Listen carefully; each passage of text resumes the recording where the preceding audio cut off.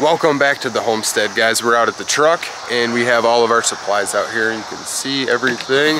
Got everything, seeds and electrical stuff and everything to get our methane situated in here. So we've been doing a lot of cleaning and getting a lot of space prepared. I just sowed, well I guess I sowed over here closer to my peppers, I had put some of my seven top turnips because those are very productive and I like to get those going. We finally got some shade from the sun. It's been really hot. We've been out riding around and messing around and just kind of messing around with water all day because it's been so darn hot. So we've been doing experiments right here. I showed a little short on that. I'm gonna do a little more talking on that in another video, but we're over here at our methane capture tank and it is basically 99% set up. And I want to talk about a few things and show the rest of the pieces that we've ordered that we didn't have when we did the first part of this video. So looking at this system as a whole, we have one nice contained system.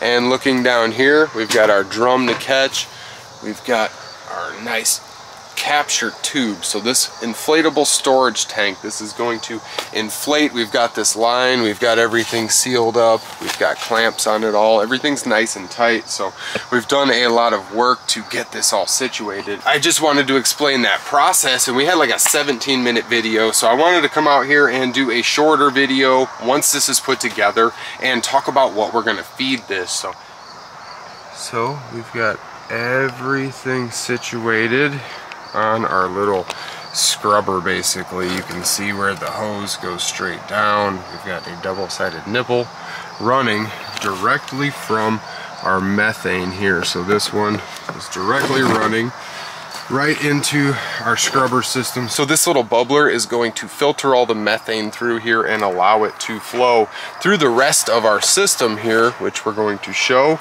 So it runs down to this little T here. We got this T fitting.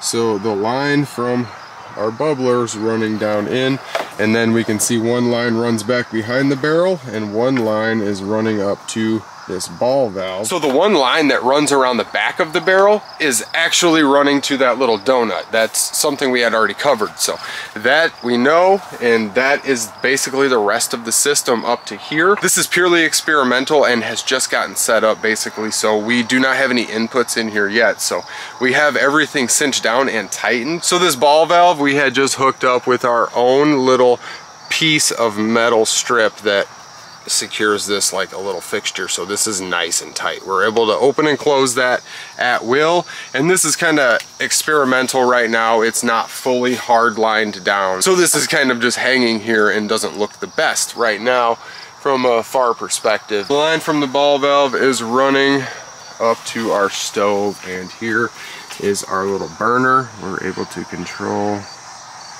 the air and the fuel blowing into it by twisting this little stick at the end here. So we picked up this little Bunsen burner, very, very cheap. It was about 20 bucks. I didn't really think that was too bad of an investment. You can see our lines running in there.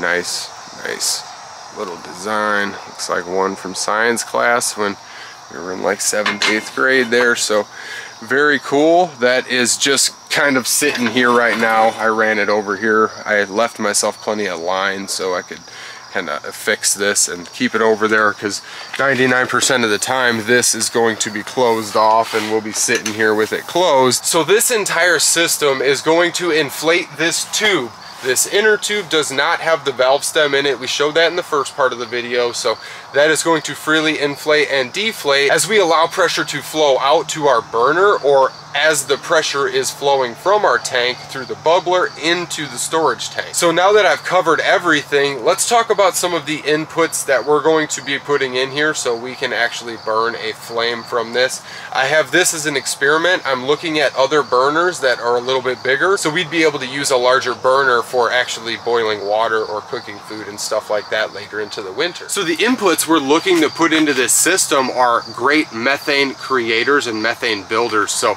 we want a lot of waste. We want cow waste, we want pig waste, we want alpaca waste. My wife works at an alpaca sanctuary, so we may be able to pick up some of their waste and funnel it in here. And with this system, we're going to be able to put right down here underneath this cap, we'll be able to basically dump it in with a funnel and have a liquid slurry going in and it will always be a liquid input. We'll add water or urine or whatever to the actual mixture to make it a slurry. It's always going to be a liquid going in or some type of liquid-like mixture. So I'm not sure if we're gonna put human waste in here or not. I'd like everybody's thoughts on that. What do you think about putting our own waste? I got my two sons. They would love to do it. So if you guys want to see us put our own waste in there, we'll do it and we'll burn the flame from our own waste because we talk about that all the time. We also have dogs. My wife's looking to get goats and stuff like that. So we've got a lot of methane inputs and we can create a lot of slurry ourselves with a lot of the green waste. And we can make a lot of slurry matter ourselves with just green waste and stuff like that. Just putting stuff in buckets and sealing them with some water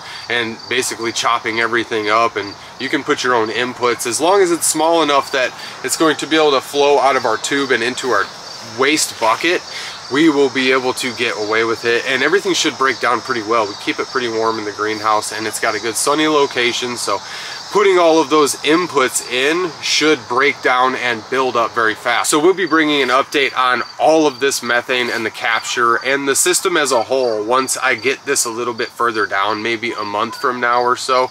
Maybe even before that, I might show some of the inputs and the first slurry and all of that because we're going to use a lot of water and there's a lot of water in the system. We're going to use our own urine for sure. I stay tuned for all the updates here as we bring a lot of stuff pertaining to winter time and what we got going here and all of the experiments we're going to have. So we're keeping ourselves very busy and if anybody has any suggestions for us, definitely drop in the comments below. We're having a lot of fun with this one and I can't wait to actually burn some methane. We've tried this for a couple years now with not the best experiment and not the best start. So we feel like we've got a very good system here and we feel like this is going to perform for us. So everybody stay tuned for all the updates on this methane and all of the other stuff we've got coming pertaining to heating the greenhouse throughout the winter. And I'd like to thank all of the new subscribers we've gotten recently. We've been doing really well with finding new people, finding us. So it's very, very good. And we're finding a lot of local people from our market too. So it's really great to see everybody coming together on this community where we can grow throughout the winter.